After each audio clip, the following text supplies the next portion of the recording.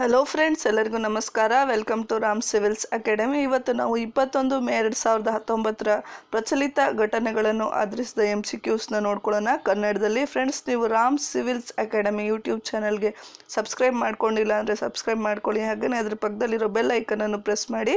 ಇದರಿಂದಾಗಿ ನಿಮಗೆ K P S C ನಡೆಸುವ ಎಲ್ಲ ಪರೀಕ್ಷೆಗಳ ಕುರಿತಾಗಿ ಒಂದು ರೆಗ್ಯುಲರ್ ಅಪ್ಡೇಟ್ ಸಿಗ್ತಾ ಇರುತ್ತೆ. ಸೊ ಬನ್ನಿ ಫ್ರೆಂಡ್ಸ್ ವಿಡಿಯೋ ಸ್ಟಾರ್ಟ್ ಮಾಡೋಣ.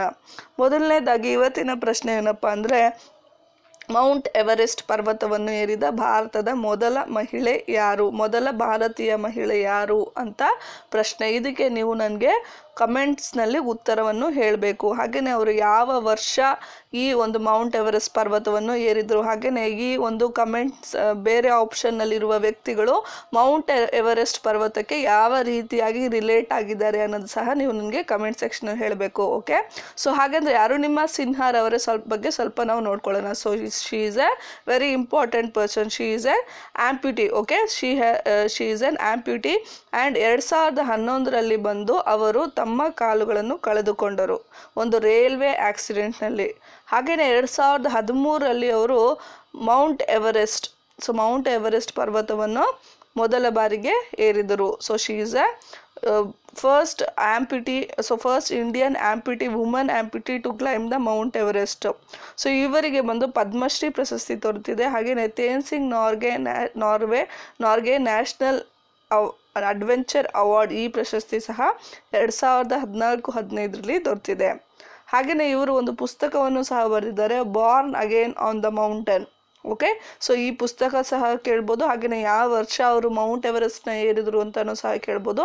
ಹಾಗೆಯೇ ಅವರಿಗೆ ದೊರೆತಿರುವ ಪ್ರಶಸ್ತಿಗಳ ಬಗ್ಗೆ ಸಹ ಕೇಳ್ಬೋದು. ಸೊ ಇದಿಷ್ಟು ನೀವು ಅರುಣಿಮಾ ಸಿನ್ಹಾರವರ ಬಗ್ಗೆ ಜ್ಞಾಪಕ ಇಟ್ಕೊಳ್ಳಿ. ನೆಕ್ಸ್ಟ್ ಏನಪ್ಪ ಪ್ರಶ್ನೆ ಅಂದರೆ, ವಿಶ್ವ ಜೇನು ನೊಣಗಳ ದಿನ ಎಂದು ಆಚರಿಸಲಾಗುತ್ತದೆ. ವರ್ಲ್ಡ್ ಬಿ ಡೇ ಈ celebrated on which day every year so ಈ ಒಂದು ವಿಶ್ವ ಜೇನುನೊಣಗಳ ದಿನವನ್ನು ಮೇ ಇಪ್ಪತ್ತರಂದು ಪ್ರತಿ ವರ್ಷ ಆಚರಿಸಲಾಗುತ್ತದೆ. ಎರಡು ಸಾವಿರದ ಹದಿನೆಂಟರಲ್ಲಿ ಬಂದು ಸ್ಲೊವೇನಿಯಾ ರಾಷ್ಟ್ರ ಸ್ಲೊವೇನಿಯಾ ರಾಷ್ಟ್ರ ಬಂದು ಈ ಒಂದು ವಿಶ್ವ ಬಿ, ವಿಶ್ವ ಜೇನುನೊಣಗಳ ದಿನವನ್ನು ಆಚರಿಸಬೇಕು ಅಂತ ಒಂದು ಒಂದು ಪ್ರಪೋಸಲ್ನ U N United Nations General Assembly ಮುಂದೆ ಇಟ್ಟಿತ್ತು. ಸೊ, ಅದರಿಂದಾಗಿ ಎರಡು ಸಾವಿರದ ಹದಿನೆಂಟರಿಂದ ಈ ಒಂದು ಸೆಲೆಬ್ರೇಷನ್ನ ಸ್ಟಾರ್ಟ್ ಮಾಡಿದ್ರು. ಸೊ ಬರ್ಡೇ ಆಫ್ ಯಾರ್, ಇದು ಬಂದು ಮೇ ಇಪ್ಪತ್ತನೇ ತಾರೀಕು birthday of Anton Jansa. So Anton Jansa ಅವರು ಸ್ಲೊವೇನಿಯಾದಲ್ಲಿ ಮೊದಲ ಬಾರಿಗೆ ಜೇನು ನೊಣಗಳ ಸಾಕಾಣಿಕೆ ಬಗ್ಗೆ ಒಂದು ಬಹುಮುಖ್ಯವಾದ ಒಂದು ಪ್ರಯತ್ನವನ್ನು ಅದೇ ಅವರು ಅಲ್ಲಿ ಕೈಗೊಂಡಿದ್ದರು. ಸೊ ಇವರ ಜನ್ಮದಿನ ಆಂಟೋನ್ ಜಾನ್ಸ ಅವರ ಜನ್ಮದಿನ ಮೇ ಇಪ್ಪತ್ತರಂದು.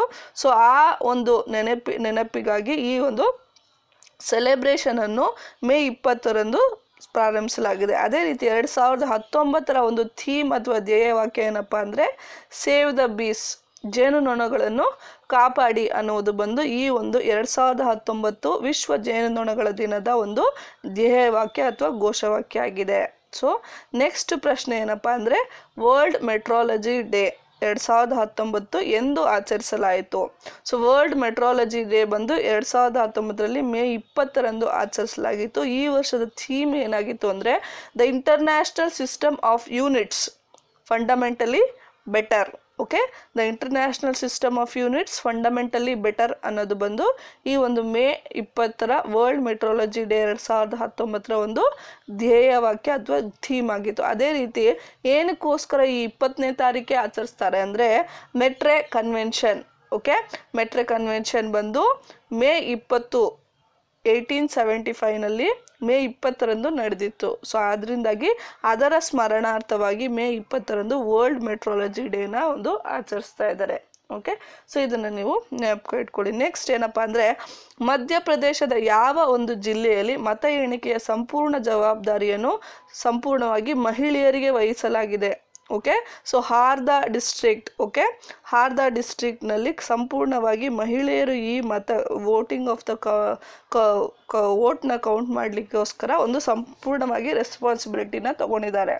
ಹಾಗೆಯೇ ಮಧ್ಯಪ್ರದೇಶದ ಬಗ್ಗೆ ಇನ್ನೊಂದು ಇನ್ಫಾರ್ಮೇಷನ್ ಏನಪ್ಪ ಇಂಪಾರ್ಟೆಂಟ್ ಆಗಿ ರೀಸೆಂಟಾಗಿ ಅಂದರೆ ರೀಸೆಂಟಾಗಿ ಅವರೊಂದು ಒ ಬಿ ಸಿ ರಿಸರ್ವೇಷನ್ ಅಂದರೆ ಇತರ ಹಿಂದುಳಿದ ವರ್ಗಗಳಿಗೆ ಬಂದು ಇರುವ ಒಂದು ರಿಸರ್ವೇಷನ್ನ ಬಂದು ಹದಿನಾಲ್ಕು ಪರ್ಸೆಂಟ್ರಿಂದ ಇಪ್ಪತ್ತೇಳು ಪರ್ಸೆಂಟ್ನ ಅಷ್ಟು ಇನ್ಕ್ರೀಸ್ ಮಾಡ್ತೀವಿ. ಅದೇ ರೀತಿ ಹತ್ತು percent economically weaker section okay economically weaker section ಅವ್ರಿಗೆ ಅಪ್ಪರ್ ಕಾಸ್ಟ್ ಅವ್ರಿಗೋಸ್ಕರ ಇತ್ತೀಚೆಗೆ ಕೇಂದ್ರ ಸರ್ಕಾರ ಅವರು ಒಂದು ಹೊಸ ರೂಲ್ನ ಇದು ಒಂದು ಹೊಸ ಆ್ಯಕ್ಟ್ನ ಮಾಡಿದ್ರು.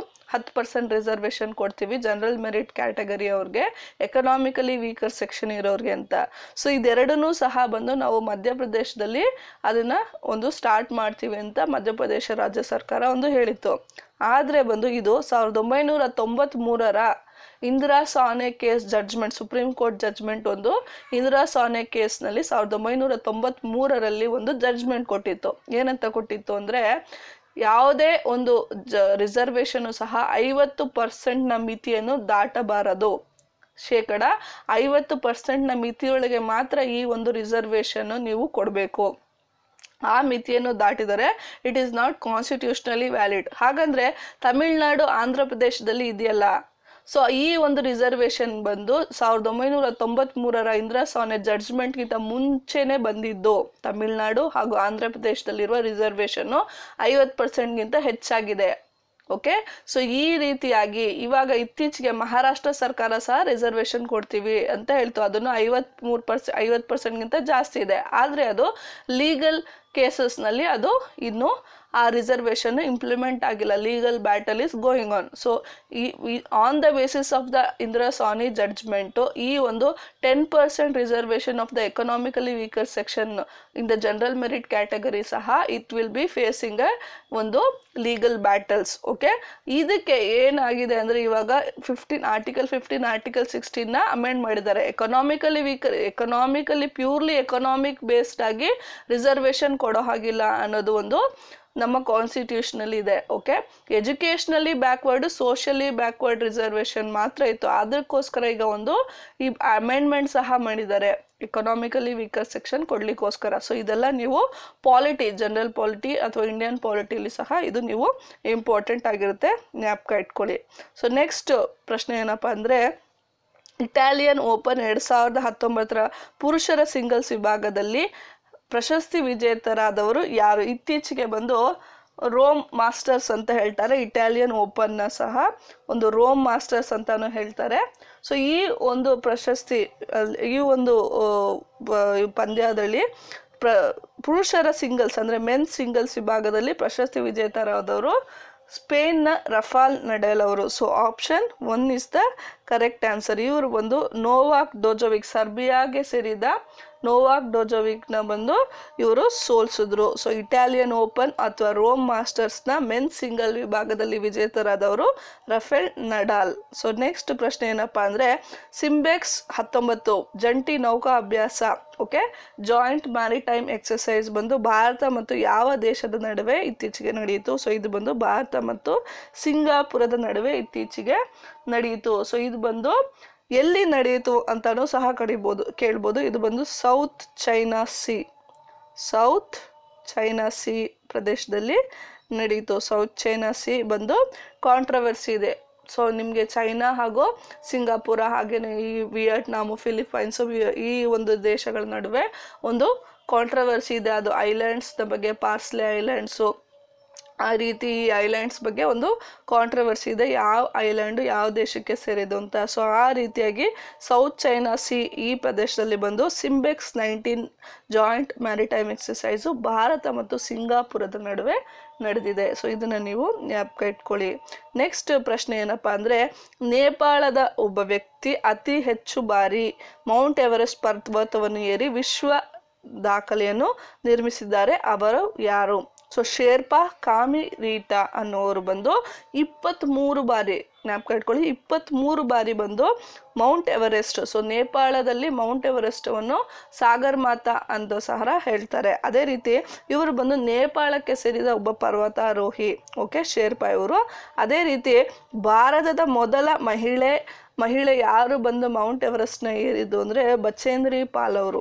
So Bachendri Pal is the first Indian women to climb the Mount Everest ಇದನ್ನ ಜ್ಞಾಪಕ ಇಟ್ಕೊಳ್ಳಿ ನೆಕ್ಸ್ಟ್ ಪ್ರಶ್ನೆ ಏನಪ್ಪ ಅಂದರೆ, ರೈತರ ಆಯೋಗವನ್ನು ಇತ್ತೀಚೆಗೆ ಫಾರ್ಮರ್ಸ್ ಕಮಿಷನ್ ಅಂತ ಒಂದು ಕಮಿಷನ್ ಆಯೋಗವನ್ನು ಯಾವ ರಾಜ್ಯ ಸರ್ಕಾರ ರಾಜ್ಯ ಸರ್ಕಾರ ಇತ್ತೀಚೆಗೆ ನೇಮಿಸಿದೆ, ನೇಮಕ ಮಾಡಿದೆ. ಸೊ ಇದು ಬಂದು ಕರೆಕ್ಟ್ ಆದ ಉತ್ತರ ಬಂದು ಮೇಘಾಲಯ ಅಂತ ಆಗುತ್ತೆ. ಸೊ ಮೇಘಾಲಯದ ರಾಜಧಾನಿ ಶಿಲ್ಲಾಂಗ್, ಮೇಘಾಲಯದ ರಾಜಧಾನಿ ಶಿಲ್ಲಾಂಗ್, ಅಲ್ಲಿನ ಅಲ್ಲಿನ ಸಿ ಸಿ ಎಂ ಯಾರಪ್ಪ ಅಂದರೆ ಮುಖ್ಯಮಂತ್ರಿ ಕಾನ್ರಾಡ್ ಸಾಂಗ್ರ ಸಾಂಗ್ಮರ್ ಅವರು ಹಾಗೆಯೇ ಅಲ್ಲಿನ ರಾಜ್ಯಪಾಲರು ತಥಾಗತ ರಾಯ್ ಅವರು. ಸೊ ಮೇಘಾಲಯದ ಬಗ್ಗೆ ಇಷ್ಟು ನೀವು ಇನ್ಫಾರ್ಮೇಷನ್ ನೆನಪು ಇಟ್ಕೊಳ್ಳಿ ಅದೇ ರೀತಿ ಇತ್ತೀಚೆಗೆ ಬಂದು ಡಿಕ್ಕಿ ಬಾಂಡಿ ಸ್ಟೇಡಿಯಂ ಅಂತ ಒಂದು ಸ್ಟೇಡಿಯಂ ಇದೆ. ಅದನ್ನ ಬಂದು ಪಿ ಎ ಸಾಂಗ್ಮಾ ಸ್ಟೇಡಿಯಂ ಅಂತ ಅಲ್ಲಿ ರೀನೇಮ್ ಮಾಡಿದ್ದಾರೆ. ಸೊ, ಪಿ ಎ ಸಾಂಗ್ಮಾರ್ ಅವರು ಬಂದು ಸಾವಿರದ ಒಂಬೈನೂರ ಎಂಬತ್ತೆಂಟರಿಂದ, ಸಾವಿರದ ಸಾವಿರದ ಒಂಬೈನೂರ ಎಂಬತ್ತೆಂಟರಿಂದ ಸುಮಾರು ಹತ್ತು ವರ್ಷಗಳ ಕಾಲ ಅಲ್ಲಿ ಬಂದು